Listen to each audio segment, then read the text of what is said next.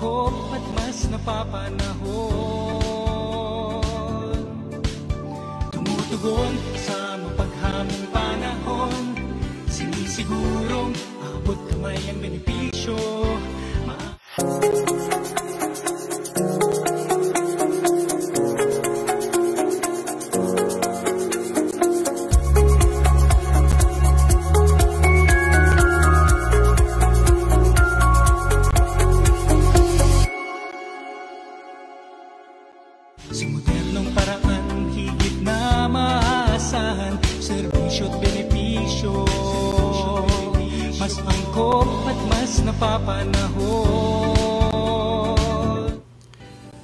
Mabuting araw po sa inyong lahat. Ah, Thursday po ngayon, ah, October 5, 2023. Welcome po sa Usap Tayo.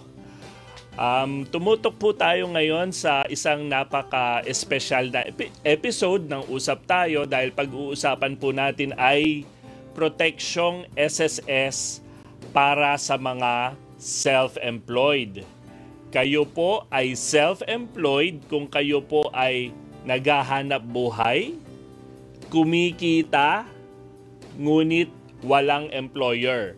Ganun lamang po kasimple. Kayo po ay self-employed kung kayo po ay naghahanap buhay, kumikita, at walang employer. Maaari po kayong doktor na may sariling clinic. Maaari po kayong ah, dentista na may sariling clinic. Maaari po kayong abogado na may sariling practice. Ngunit maaari din kayong simpleng self-employed katulad ng mga market vendor, tricycle driver, magsasaka o mangingisda. Basta kayo po ay naghahanap buhay, kumikita at walang employer, self-employed po kayo at itong programa o episode ng Usap Tayo ay para po sa inyo.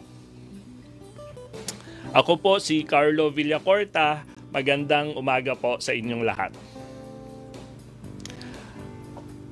Una, pag-usapan po natin agad ang proteksyong SSS para sa mga self-employed.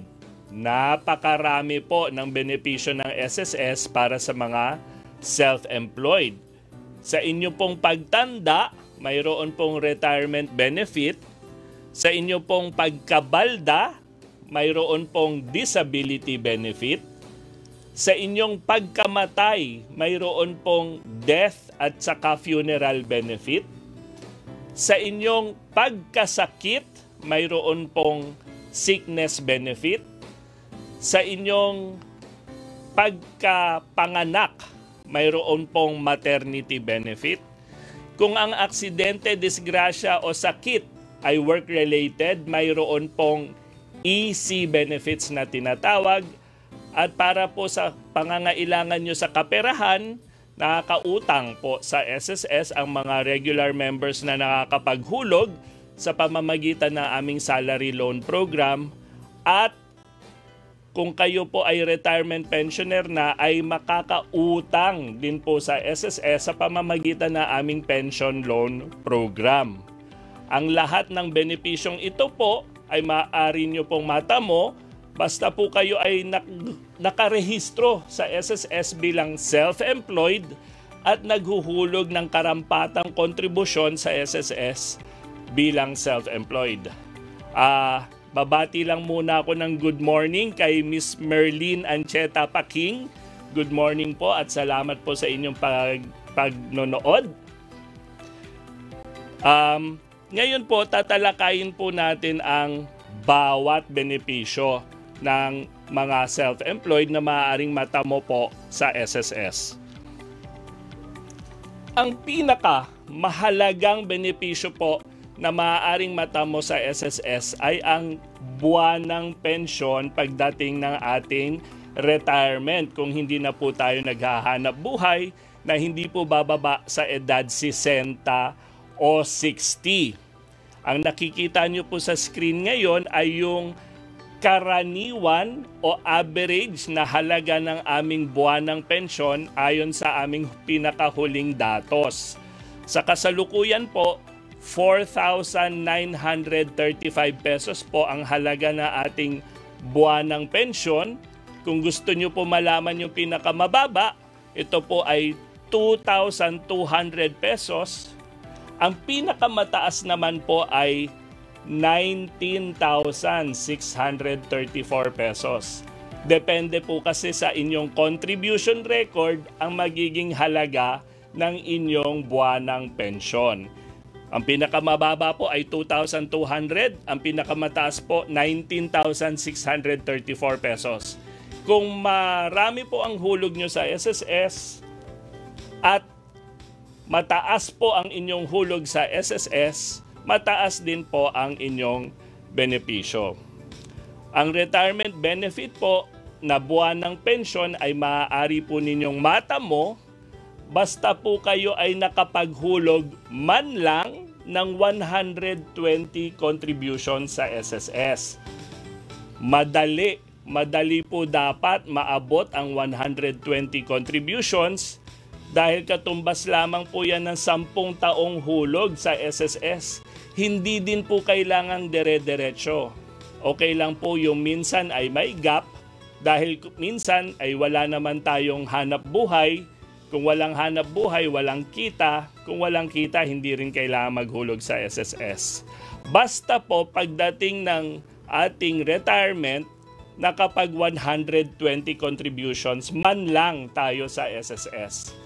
Madali lang dapat maabot yan dahil karamihan naman po sa atin ay may kakayanang maghanap buhay ng apat na pong taon, hindi ho ba? Kunwari po, simula po sa edad 20 hanggang 60, 20 to 60 years old, 40 years po yun. Pero makapaghulog man lang kayo ng buwan ng pensyon, uh, ng uh, ah, 120 contributions, magkakaroon na kayo ng buwan ng pensyon pagdating ng inyong retirement. At ito po ay maaari nyo pong i-file online. Pwede nyo pong i-scan yung QR code na nasa screen o kaya hanapin nyo lamang po yung SSS Circular 2021-021 para matuto po. Lalong-lalo na po sa disability at death pension program ng SSS na nangangailangan po lamang ng 36 na kontribusyon sa SSS. Uh, ah, magkakaroon na po kayo ng buwan ng pensyon kung kayo po ay makaranas na matinding disgrasya at kayo ay mabalda. Ang karaniwang halaga po na ibinabayad na SSS bilang monthly disability pension ay 4,636 pesos kada buwan ang pinakamababa po ay 2,000 pesos kada buwan. Ang pinakamataas naman po ay 18,094 pesos kada buwan. Muli, depende po kasi sa inyong contribution record ang inyong magiging benepisyo sa SSS. 36 na hulog lamang po protektado na po ang inyong sarili kung sakaling matindi po ang disgrasyang dumating sa atin at tayo po ay mabalda. Ito po ay naifa-file din po online. Andyan po yung QR code o hanapin nyo po yung SSS Circular 2022-039 po. Nagbabayad po ang SSS ng death benefit. Ito po yung survivor's pension na tinatawag na kapag hulog man lang yung miyembro ng 36 na kontribusyon, at nauna na siya sa mundong ito, maaari pong mag-claim ng survivor's pension o death benefit sa SSS ang naiwang asawa. Ang karaniwang halaga po nito ay 4,003 pesos po. Ang pinakamababa po ay 2,000 pesos kada buwan. Ang pinakamataas naman po ay 18,803 pesos kada buwan. Depende po kasi talaga sa inyong contribution record ang magiging halaga ng inyong benepisyo po. So makapaghulog man lang ng 36 contributions, protektado nyo na po ang inyong pamilya dahil magkakaroon po ng survivor's pension ang inyong asawa kung sakaling matindi ang disgrasya at ma- mauna po tayo sa mundong ito. Uh, may uh, QR code po diyan para matutunan ninyo kung paano mag-file online uh, o kaya ay hanapin po ninyo yung SSS Circular 2022-009. Uh, yes, um, bago ako magpatuloy, basahin ko lang yung isang tanong na nakikita ko dito. No? Uh, parehas lang po ba ang self-employed at voluntary? Tanong ni Azil Marukot, Seno Lim. Hindi po yan pareho. Tatalakayin ko po yan maya-maya. Um, uh, pahingi lang po ng kaunting pasensya, Ma'am Azil.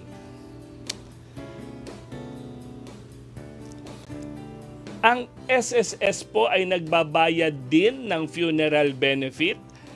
Ang karaniwang halaga na, ng funeral benefit po ay 22,581 pesos ang pinakamababa po ay 12,000 pesos. Ang pinakamataas naman po ay 40,000 pesos. Muli, depende po sa inyong contribution record.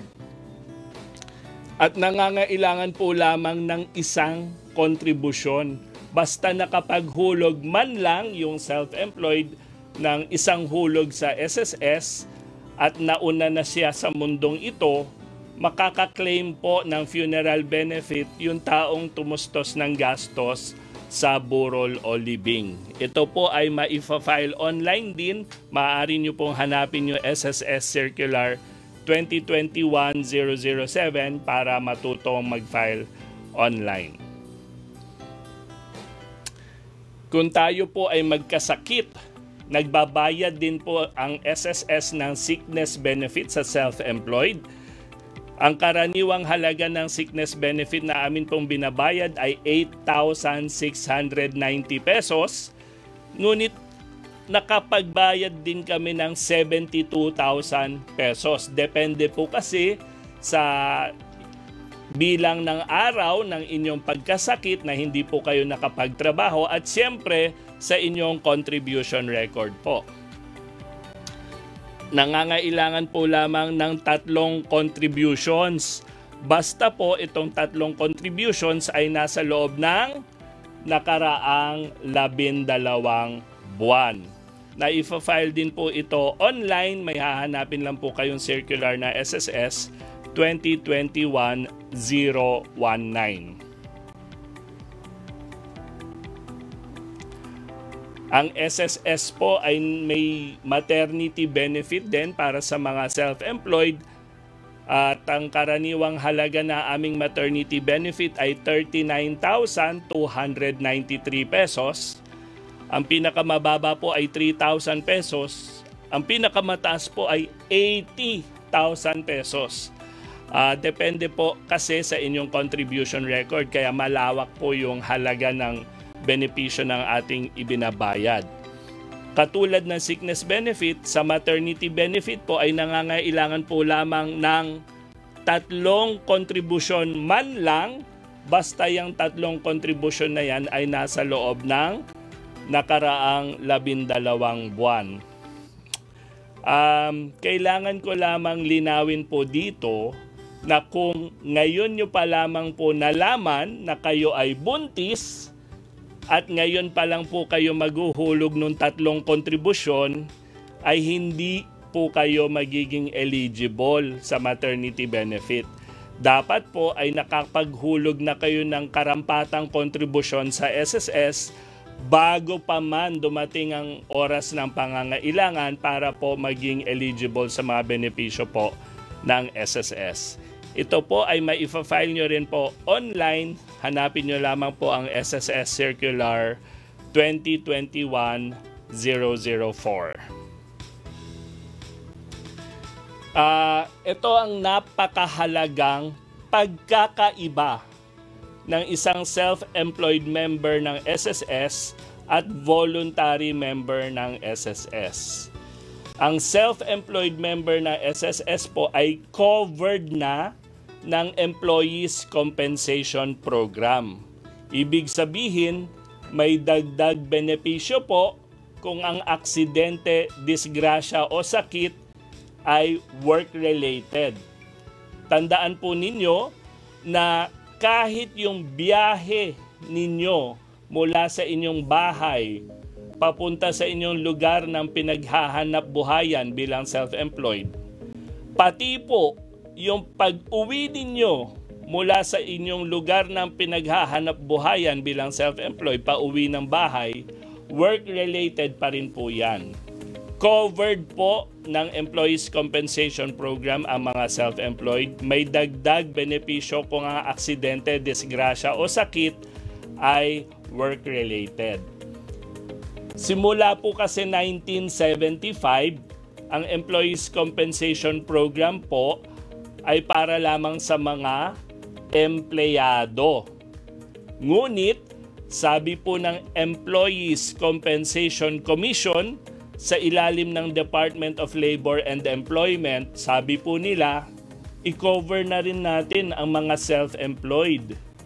Kaya po, simula September 2020, covered na rin po ng EC program ang mga self-employed. Kaya po mas mataas ng kaunti ang hulog ng mga self-employed member sa SSS kung ihahambing sa voluntary member mas mataas lang ng kakarampot. Dagdag 10 piso o 30 pesos lamang po kada buwan ang hulog sa SSS ng mga self-employed kung ihahambing sa hulog ng mga voluntary member. Ang self-employed member po ay covered ng EASY program. May dagdag benepisyo kung work-related ang aksidente, disgrasya, sakit. Ang voluntary member po ay hindi covered ng EC program. Yun po ang pinakamahalagang pagkakaiba ng isang self-employed member na SSS at ng voluntary member na SSS. Na iintindihan natin na maaaring marami po na voluntary member eh sa totoong buhay ay self-employed naman, hinihikayat ko po kayo na magparehistro po kayo na maayos sa SSS bilang self-employed upang matamo po ninyo ang mas makabuluhang proteksyon mula sa SSS bilang self-employed member ng SSS. Tatalakayin din po natin yan kung paano magrehistro sa SSS bilang self-employed. Painom po muna ng tubig. Thank you. Uh, bilisan ko lamang po na ito pong nakikita nyo sa screen ngayon, yan po yung mga karaniwan o average na halaga ng dagdag benepisyo kung ang aksidente, disgrasya o sakit ay work-related. Kung ang pagkamatay po ay work-related, may karaniwang may dagdag benepisyo po ang karaniwang halaga po ay 4,875 pesos na dagdag buwan ng pensyon. Kung ang pagkabalda po ay work-related, may dagdag sa disability pension. Ang karaniwang halaga po ay 6,090 pesos kada buwan na dagdag benepisyo. Kung ang pagkamatay po ay work-related, may dagdag benepisyo po na 30,000 pesos mula sa EASY program. At kung ang pagkasakit po ay work-related, may dagdag benepisyo po na ang karaniwang halaga po ay 8,488 pesos po. Nililinaw ko po na ito po ay mga dagdag benepisyo kung ang aksidente, disgrasya o sakit ay work-related. Nangangailangan po lamang ng isang kontribusyon man lang. Pero ang ibig ko po sabihin dito ay kung sa buwan po na ito ay nakapaghulog na kayo sa SSS na may uh, bilang self-employed, sa buwan na to nakapaghulog po kayo, tapos sa susunod na buwan po nangyari yung work-related na aksidente, disgrasya o sakit, makaka-claim na po kayo agad ng easy benefits. Ito rin po ay maaari nyo pong ma-file online. Hanapin po lamang ang circular SSS Circular 2022-009 or 2021-019 depende po sa inyong ifa-file na claim. Yun po, um, kung may pangangailangan kayo sa kaperahan, nakakautang din po sa SSS ang mga miyembrong nakakapaghulog ng kontribusyon sa SSS. Sa pamamagitan po yan ng aming salary loan program. Ang uh, karaniwang halaga ng aming pautang sa salary loan ay 25,477 pesos. Nangangailangan po lamang ng 36 na kontribusyon basta po yung anim doon ay nasa loob ng nakaraang labindalawang buwan. Ang pinakamababa po na aming salary loan ay 3,000 pesos. Ang pinakamataas po ay 40,000 pesos. Depende nga po kasi sa inyong contribution record din ang halaga ng inyong mauutang. Ito po ay mafa-file nyo rin po online, hanapin nyo lamang po ang SSS Circular 2019-014. So, uh, mga kababayan na mga self-employed, baka napansin po ninyo na ang SSS po ay sumisilip sa nakaraang ilang buwan kung kayo po ay may hulog para po malaman ninyo kung kayo po ay eligible sa aming mga benepisyo. Um, may tanong dito no si Ramirez Reyes Ana Marie, paano po mag-apply ng SSS online? May SSS number na po ako para makahulog na po ako bilang self-employed. Tatalakayin ko po yan, Miss uh, Ana Marie, maya-maya lang po.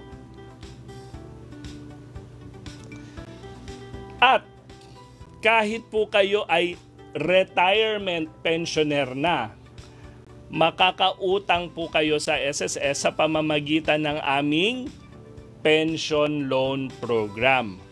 Ang uh, pension loan program po ay nagpapautang po sa mga miyem- sa mga retirement pensioner ng SSS. Ang karaniwang halaga ng aming pautang sa programang ito ay 45,538 pesos na pautang ang pinakamababa po ay 6,600. Ang pinakamataas po ay 200,000 pesos.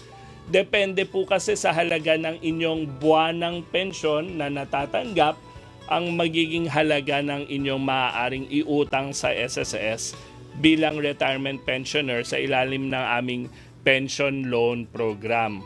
Ang style po ng SSS dito para mabayaran ninyo ang inyong pension loan ay doon din namin kukunin sa inyong buwanang pensyon ang inyong hul- pangbayad sa inyong pension loan. Pero magtitira po kami ng kalahati para kada buwan mayroon pa rin pong papasok na kaperahan sa inyong uh, bank account para po laging may pumapasok na pera sa inyo kahit ano pa man ang mangyari sa inyong inutang sa SSS. Maaari nyo po itong i-file online. Hanapin nyo lamang po ang SSS Circular 2022-011 para matutunan mag-apply online. Mayroon po kaming bagong programa, Provident Fund Program, mandatory Provident Fund po. Kami po ay gagawa ng Provident Fund account sa ngalan ninyo automatic po namin itong gagawin para sa mga miyembro ng SSS na naguhulog sa matataas na salary bracket. Kung inyong salary bracket ay mahigit po sa 20,000 kada buwan, kami na po ang bahala mag uh, gumawa ng Provident Fund account para sa inyo sa ilalim ng aming mandatory Provident Fund program o tinatawag naming Workers Investment and Savings Program or WISP. Kung nais po ninyong balikan ang mga SSS circulars na uh, binanggit ko kanina, maaari nyo pong itong mahanap sa aming SSS website www.sss.gov.ph. Hanapin lamang po yung laws and circulars makikita nyo na po doon ang iba't ibang circular ng SSS. Ang circular po kasi ay yung mga anunsyo, mga announcements ng SSS tungkol sa iba't iba naming programa at patakaran.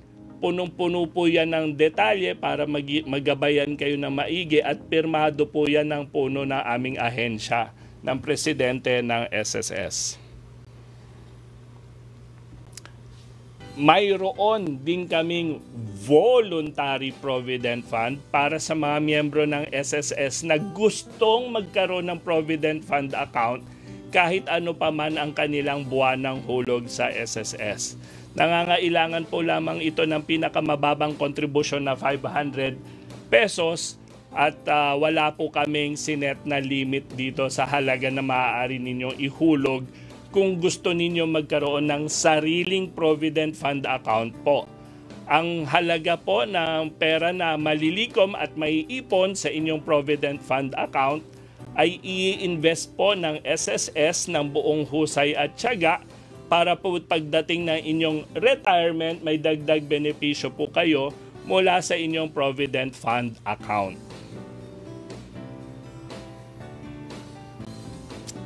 Okay, ito po naman po ang schedule ng SSS contributions para sa mga self-employed.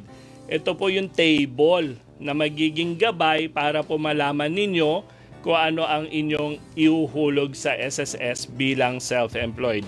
SSS Circular 2022-034 po ang hahanapin ninyo dated December 13, 2022.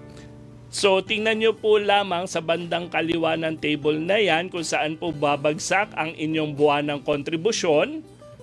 Sa bandang gitna po may andyan po yung karampatang monthly salary credit at sa bandang kanan po ay yung karampatang amount of contribution sa SSS. Ang akin na lamang pong nilagay na example dyan ay yung pinakamababa at yung pinakamataas na hulog sa SSS. 570 pesos po ang pinakamababang hulog sa SSS kung ang inyong buwan ng kita ay mas mababa pa sa 4,250 pesos kada buwan. Ang pinakamataas naman na hulog sa SSS ay 4,230 pesos kada buwan kung kayo po ay kumikita ng uh, ah, 29,750 pesos po o pataas kada buwan.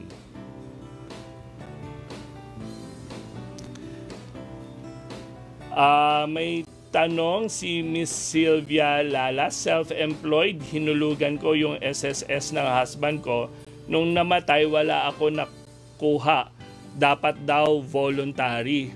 Ma'am Sylvia, uh, dapat po ay may nakuhang uh, benepisyo kayo uh, dito uh, hindi ko lamang po alam yung detalye yung ng inyong application at bakit ganyan po ang nasabi sa inyo Ma'am Sylvia.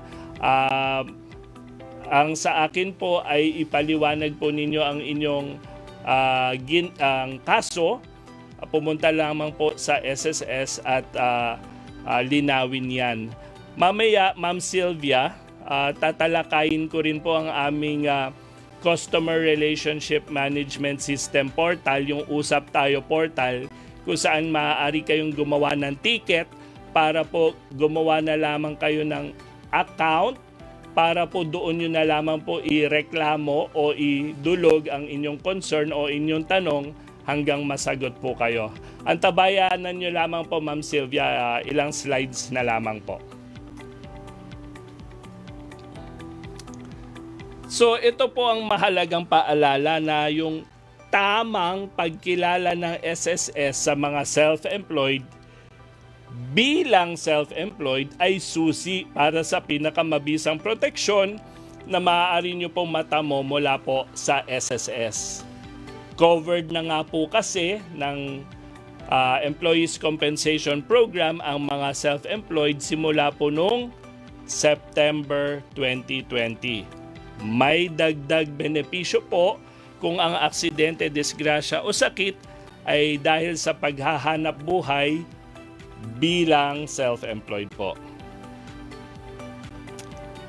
Okay, uh, gusto kong talakayin po ngayon yung pagrehistro sa SSS bilang self-employed.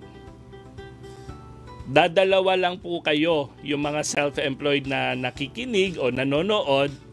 Yung isa, yung isa ay wala pang SSS number. Yung iba naman po ay mayroon ng SSS number. Turuan ko po kayo kung paano magrehistro sa SSS bilang self-employed kung wala pa kayong SSS number at kung may SSS number na. Unahin lamang po natin yung uh, sa mga wala pang SSS number. Kung kayo po ay self-employed at wala po kayong SSS number, muli ang self-employed po ay naghahanap buhay, kumikita, walang employer. Ganun po kasimple. Kung kayo po ay self-employed na wala pang SSS number, online po ang pag-register sa SSS bilang self-employed. Pumunta lamang po kayo sa website ng SSS, sss.gov.ph pindutin po ninyo doon yung apply for an SS number online. Basahin lamang po ang aming gabay tapos pindutin po ninyo ang start. Fill upan nyo lamang po ang mga detalye tungkol sa inyong sarili. Ibigay ninyo ang inyong pangalan, ang inyong birthday, at pinakamahalaga, ang inyong email address. Mas mahalaga na nga ho yata ngayon ang email address kesa sa ating residential eh, address sa panahon na ngayon. Kapag na-fill upan nyo na po yan, pindutin nyo na po ang submit. Pagkapindot po ninyo ng submit, agad pong magpapadala sa ang SSS sa inyo ng email. Kaya dapat po ay abangan ninyo ang email na ito mula po sa SSS. Paki-check po sa inyong inbox. Baka po nasa inyong clutter o nasa junk o spam folder na inyong email. Pakihanap po dahil agad po kaming magpapadala ng email sa inyo. Depende po kasi sa settings ng inyong email kung saan po mapupunta ang email na manggagaling sa SSS. Hanapin po ang email mula sa SSS at pindutin po ninyo yung link na aming ipap ipapadala para makapagpatuloy po kayo sa pag-register sa SSS. Kainom po uli ng tubig.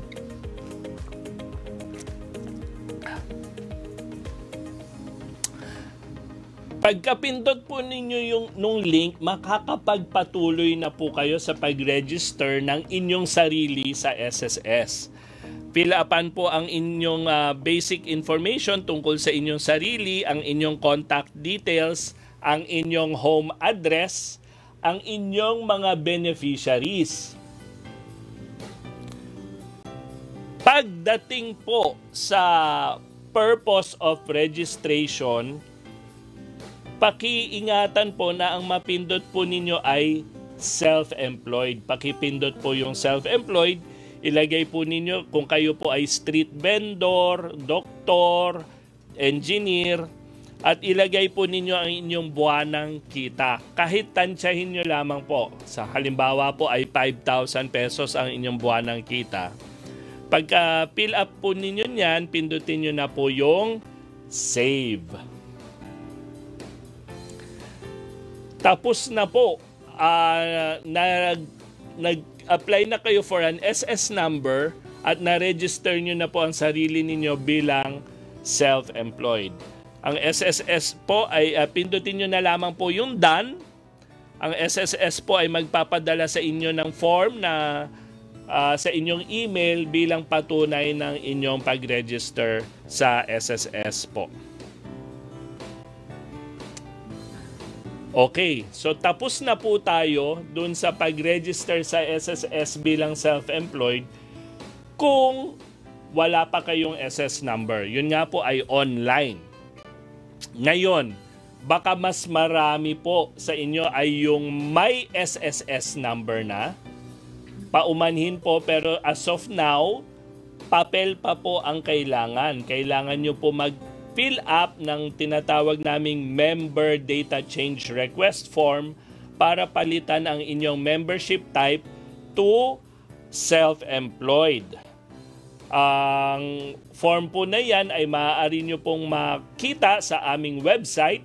Hanapin nyo lamang po yung forms na picture o icon tapos pakihanap lamang po yung members data change request na form sa uh, tala ng mga forms online. Siyempre po available po ang form na yan sa aming mga SSS branch.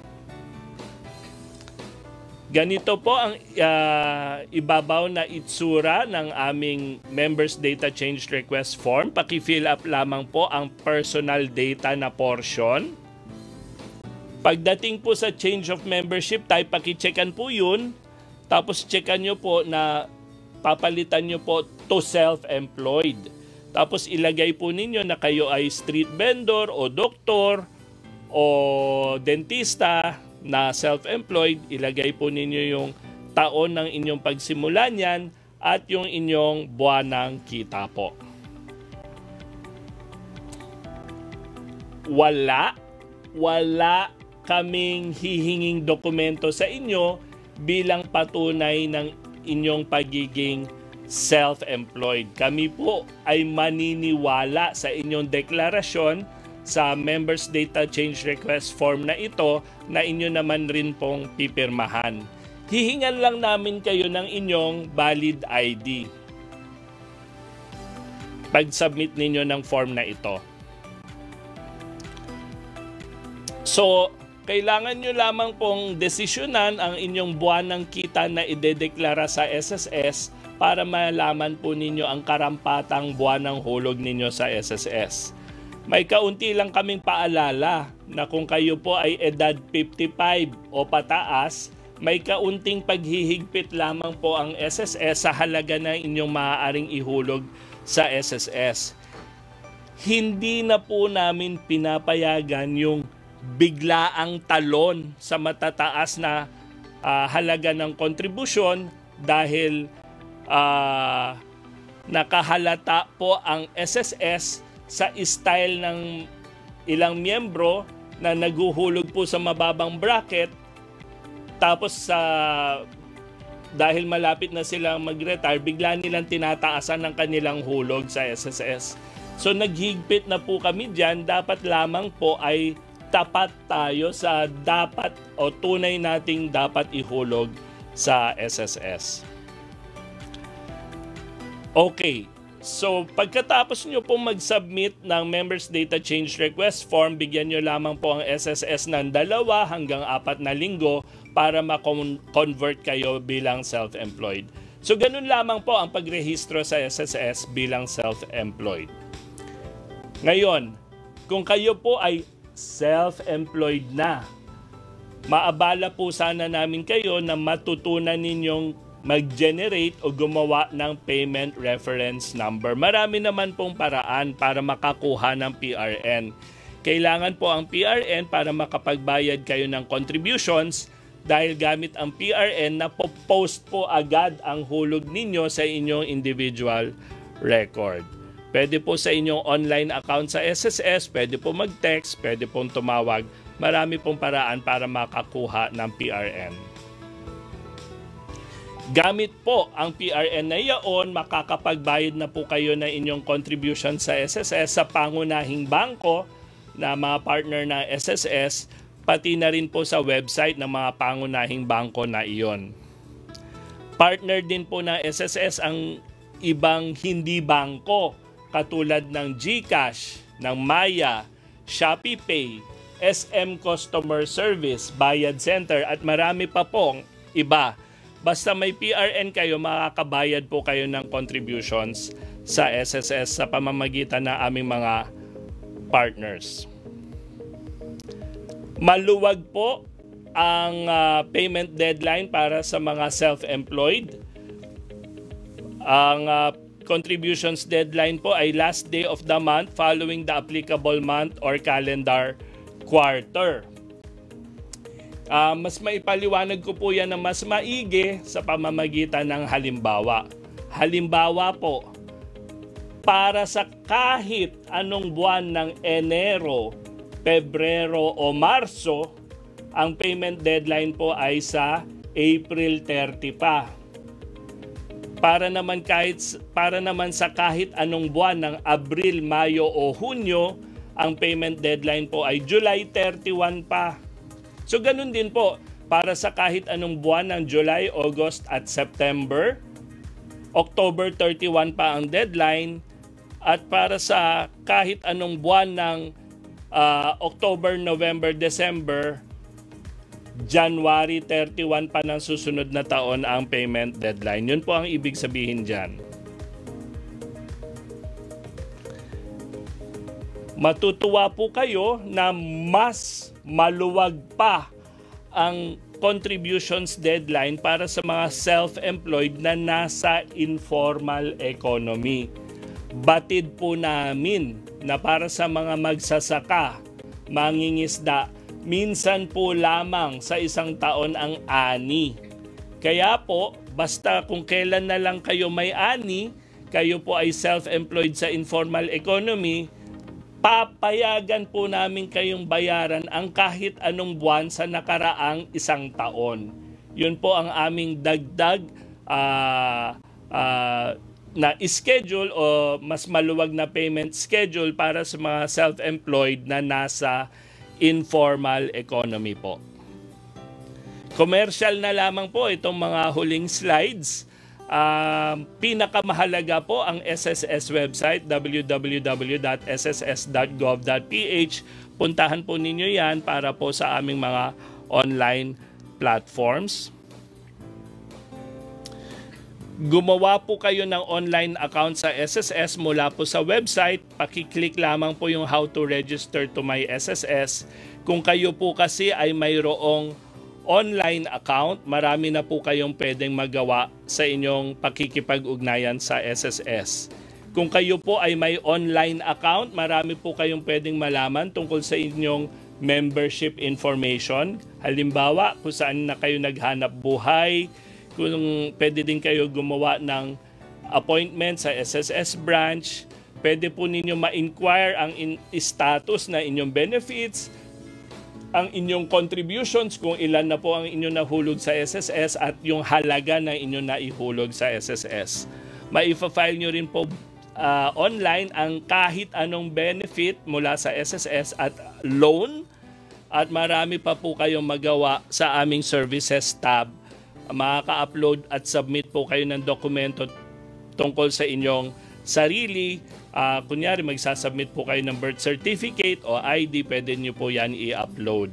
Uh, makaka-generate din po kayo ng payment reference number sa pamamagitan ng inyong online account sa SSS. So, paki tawid lamang po na mag-register kayo online at gumawa na online account sa SSS po.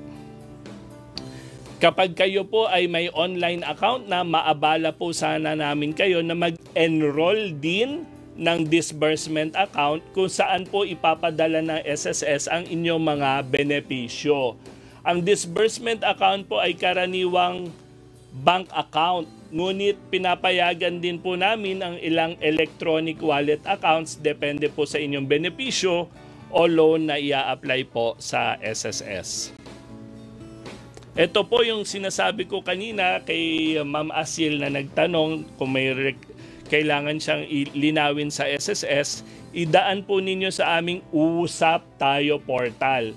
Mula po sa website ng SSS, pakipindot po lamang yung Usap Tayo at uh, gumawa po kayo ng account at mag-login.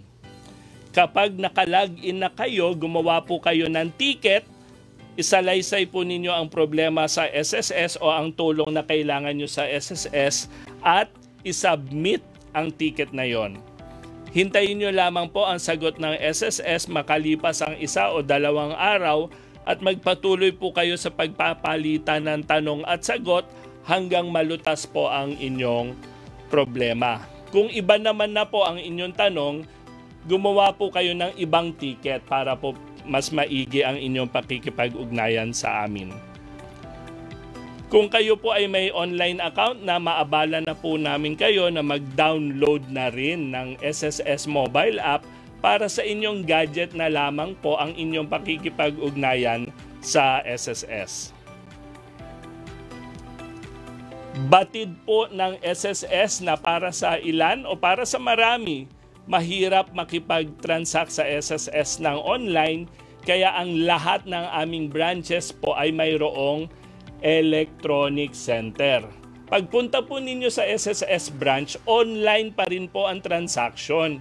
Ngunit, gagamitin po ninyo ay yung computer ng SSS, internet ng SSS at may gagabay po sa inyo doon na aming member service representative.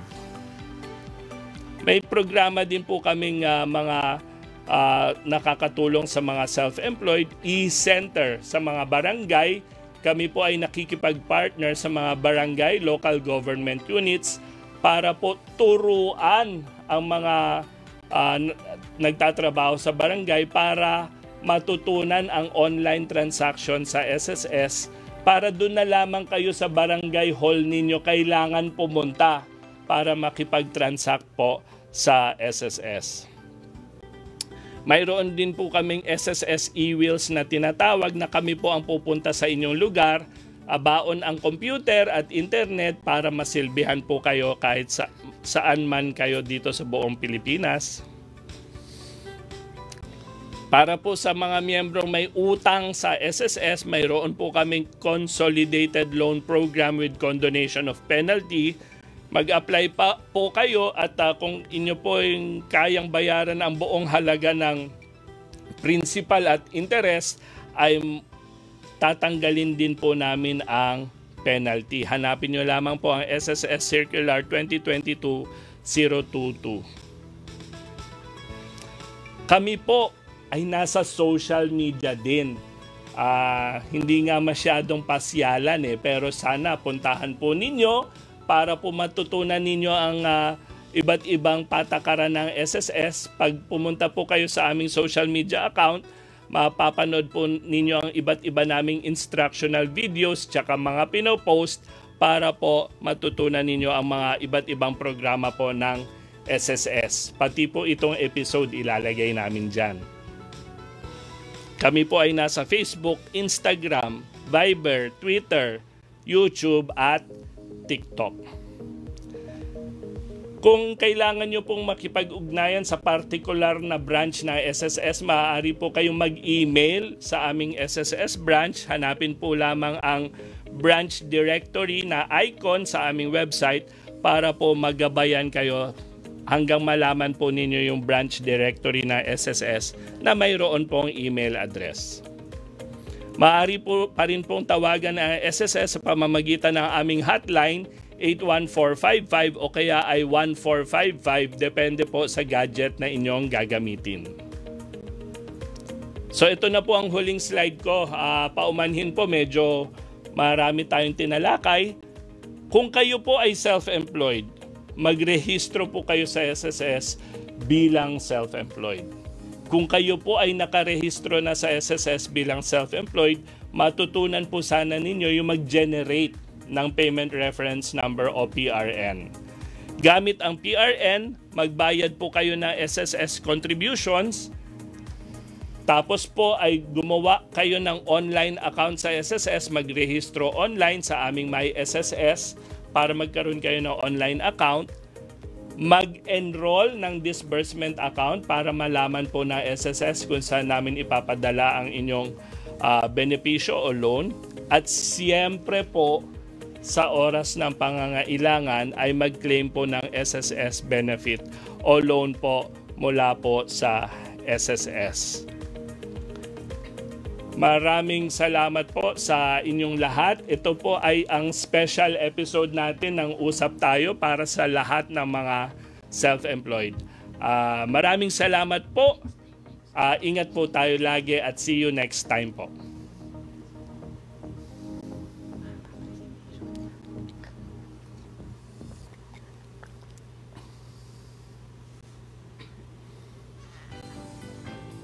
mas pinasimple Mas pinabilis, mas kumbing